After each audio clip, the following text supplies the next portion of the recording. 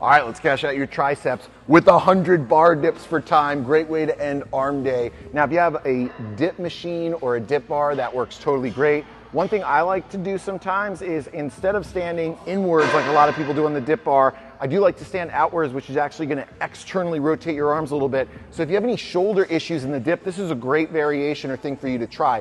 100 dips for time. So when you guys are doing this, try to crank out reps smooth and fast in long sets. You want to aim to get your shoulder beneath your elbow as you're doing these with a full punch out lockout at the end. Notice how my chest is also dipping forward a little bit at the bottom.